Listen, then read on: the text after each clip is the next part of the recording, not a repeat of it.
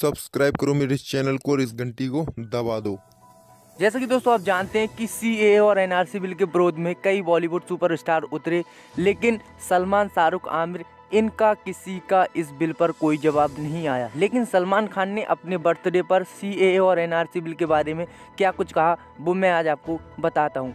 जैसा कि आप जानते हैं कि सलमान खान की फ़िल्म दबंग थ्री भारत में रिलीज़ हुई, लेकिन उसे 10 दिन हो गए और भारत में कुल 142 करोड़ रुपए ही उसने 10 दिन में कमाए हैं। और वर्ल्ड वाइड अगर हम बात करें तो उसने 212 करोड़ रुपए कमाए हैं।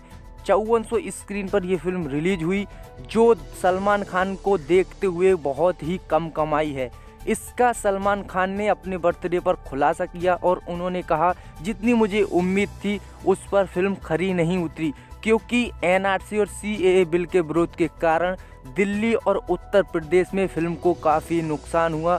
बहुत कम ही लोग इस फ़िल्म को देखने गए, जिसका सीधा प्रभाव सलमान की फ़िल्म पर पड़ा, क्योंकि एनआरसी और सी बिल के विरोध में दिल्ली, उत्तर प्रदेश में किस तरह से बवाल मचा था तो इसीलिए लोग दिल्ली और उत्तर प्रदेश में सलमान की फ़िल्म दबंग थ्री को देखने नहीं गए, जिससे सलमान का काफ़ी नुकसान हुआ। और सलमान खान और जो बड़े बड़े सुपरस्टार हैं, वो लगा रहे थे जैसे सलमान की फ़िल्में चलती हैं। साढ़े तीन सौ करोड़, चार सौ करोड़ कमाती हैं, लेकिन इस फ़िल्म ने अभी तक 10 दिनों में कुल 212 करोड़ रुपये ही वर्ल्ड वाइड कमाए हैं और भारत में कुल 142 करोड़ रुपये ही कमाए हैं, जो सलमान खान की और फ़िल्में देखकर बहुत ही कम है।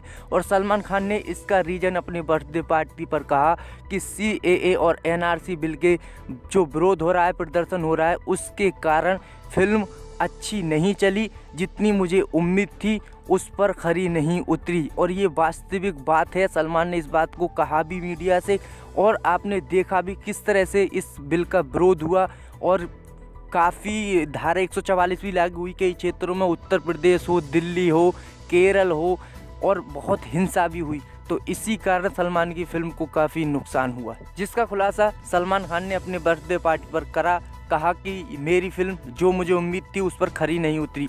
जैसा कि आप जानते हैं कि बॉलीवुड के बड़े बड़े सुपर स्टारों ने इस पर कोई भी जवाब नहीं दिया, चाहे वो आमिर हो या शाहरुख हो, या फिर अमिताभ बच्चन हो या अक्षय कुमार हो।